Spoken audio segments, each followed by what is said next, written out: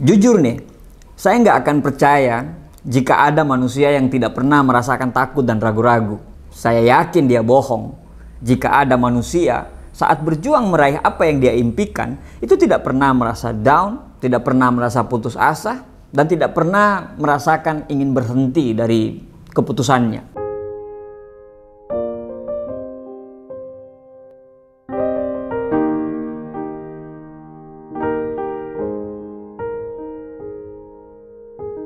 Setiap orang itu pasti punya rasa takut dan setiap orang pasti punya rasa ragu. Tapi persoalannya adalah kenapa ada orang yang sukses dan orang yang bahagia sementara ada juga orang yang sampai sekarang terus mengutuk keadaan karena dia gagal dan menderita. Padahal orang yang menderita dan orang yang sukses itu sama-sama punya ketakutan dan rasa ragu-ragu. Jawabannya adalah orang sukses mampu menghadapi ketakutannya dan mereka terus berjuang dari ketakutan yang satu ke ketakutan yang lain. Sedangkan orang gagal, ketakutannya itu lebih besar daripada keinginannya untuk berhasil. Makanya hidupnya itu jalan di tempat. Rasa gagal, rasa kecewa, perasaan menyesal, perasaan marah, perasaan sedih, dan merasa sebagai orang yang paling sial. Itu adalah emosi yang dirasakan oleh setiap insan manusia. Gara-gara emosi itu, akhirnya sebagian orang itu timbul rasa takut dan dia mulai ragu terhadap diri dia sendiri. Apa itu normal? Ya, itu sangat normal.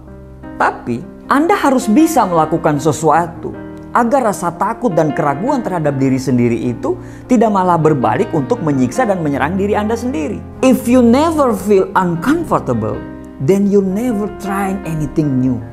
Ketika kamu tidak pernah merasakan ketidaknyamanan dalam hidupmu, berarti kamu lagi tidak mencoba hal-hal yang baru. Rasa takut, rasa ragu-ragu itu memang sangat menimbulkan ketidaknyamanan.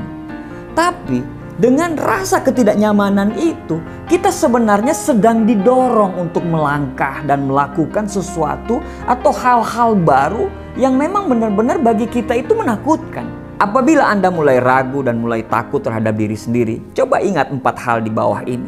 Supaya Anda tetap bergairah, Anda tetap bersemangat untuk meraih mimpi yang sudah Anda perjuangkan. Yang pertama, kalah dalam pertempuran bukan berarti kalah dalam peperangan. Ya, mungkin Anda telah mengalami kegagalan berkali-kali. Akhirnya Anda mulai ragu terhadap diri sendiri, anda mulai ragu untuk mendapatkan apa yang Anda impikan. Tapi Anda boleh loh gagal berkali-kali. Tapi jangan sampai Anda kalah dalam perjuangan hidup. Kita boleh kalah dalam pertempuran, tapi kita harus menang dalam sebuah peperangan. Kalah dan menang dalam pertempuran itu adalah hal yang biasa kok.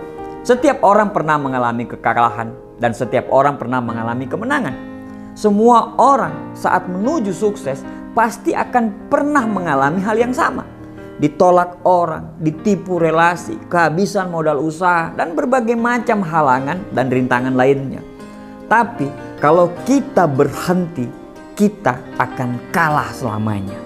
Lupakan mimpi indahmu, karena 100% kita akan gagal. Tapi kalau kita mau bangkit lagi dan kita mau belajar di mana letak kegagalannya, di mana letak kesalahannya, kita siap memperbaiki diri, kita siap mau belajar, maka presentasi kesuksesan dan kegagalan itu menjadi 50-50. Memang belum tentu berhasil, tapi Anda juga belum tentu gagal. Tapi kalau menyerah berarti udah gagal selamanya. Titik. Kapal akan sangat aman bila kapal itu berada di dermaga. Tapi Bukan untuk itu kapal dibuat. Kapal dibuat itu untuk mengarungi samudra dan ombak. Saat Anda mulai ragu dengan diri Anda sendiri, ingat bahwa Anda boleh kalah sekarang, tapi besok Anda harus menjadi pemenang. Kalah dalam pertempuran bukan berarti Anda tidak bisa memenangkan pertempuran-pertempuran lain kan. Yang kedua, keberanian Anda untuk sukses harus lebih besar daripada ketakutan Anda untuk gagal. Kegagalan berkali-kali itu bisa mengikis rasa percaya diri kita. Kita pasti mulai merasa ragu, mulai merasa jenuh, mulai patah semangat. Dan ini wajar sebagai manusia. Kita pasti memiliki rasa tidak percaya diri setelah mengalami kegagalan, apalagi kegagalan yang berkali-kali. Tapi jangan sampai menjadikan kegagalan tersebut sebagai alasan kita untuk berhenti. Tapi jadikan kegagalan itu sebagai dendam positif supaya kita bangkit lebih gagah dan lebih siap daripada yang sebelumnya. Percaya saja bahwa saat kita berdiri lagi, kita sudah jauh lebih kuat daripada yang kemarin-kemarin. Saat jatuh, berhentilah sejenak dan renungkan apa yang salah. Jangan habiskan waktu kita untuk menyalahkan orang lain, tapi habiskan waktu kita untuk melihat apa yang salah dari diri kita. Karena kebanyakan orang mencari kambing hitam daripada kegagalan-kegagalannya. Kita bukan orang yang suka mencari kambing hitam, tapi kita suka mencari kesalahan diri kita sendiri. Keberanian Anda untuk sukses harus lebih besar daripada ketakutan Anda untuk gagal. Tanamkan kata-kata itu supaya kamu selalu berani, karena kamu bisa gagal kalau kamu mengizinkan kata-kata kegagalan itu hadir dalam pikiran kamu. Selama kamu tidak pernah berpikir gagal, maka sebenarnya tidak lama lagi kamu akan meraih semua apa yang kamu cita-citakan. Yang ketiga, saat kamu sukses, orang akan bertepuk tangan kepada Anda. Tapi pada saat Anda gagal, orang tidak akan pernah peduli dengan Anda. Saat kita gagal dan tidak bisa mendapatkan apa yang kita impikan, emang semua orang peduli dengan kita. Orang punya urusan masing-masing kok. Saat kita banyak hutang dan kita tidak melunasi hutang tersebut, emang orang peduli. Saat orang tua kita masuk rumah sakit dan anak kita masuk rumah sakit, emang ada orang yang peduli? Tidak. Ya mungkin ada. Tapi apakah mereka akan total seterusnya bantu kita pada saat kita kesusahan? Padahal mereka juga punya masalah masing-masing loh. Kita sendirilah yang harus bisa menyelesaikan problema hidup kita masing-masing. Kita sendiri yang harus berperang dengan masalah kita tersebut. Saat kita jatuh, orang tidak akan ada yang mendekati kita. Saat kita lagi di bawah, semua orang akan meninggalkan kita.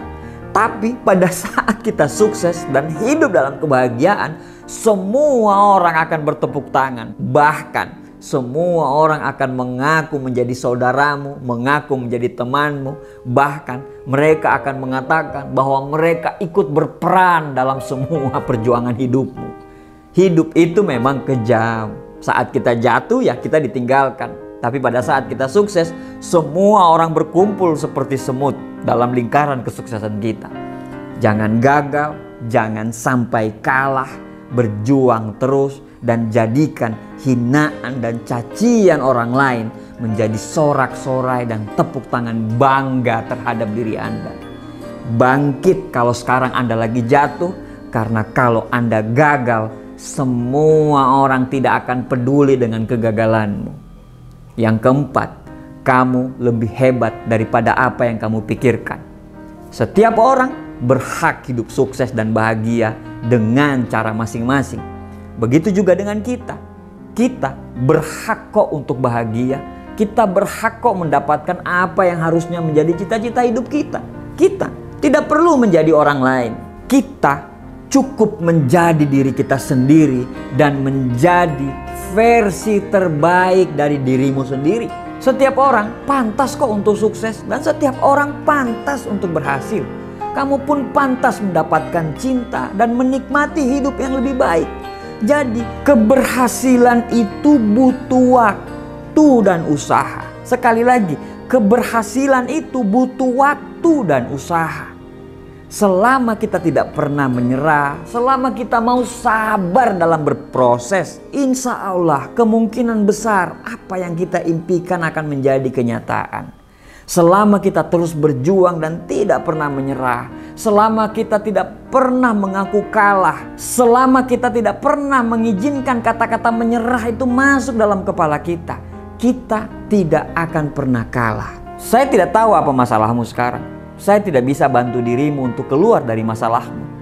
Saya hanya bisa berdoa, semoga kamu segera bangkit dan kembali percaya diri untuk melanjutkan perjuangan demi cita-cita dan impian yang ada di kepalamu. Semoga Tuhan merahmati perjuangan kita semua. Terima kasih, sukses buat kita semua.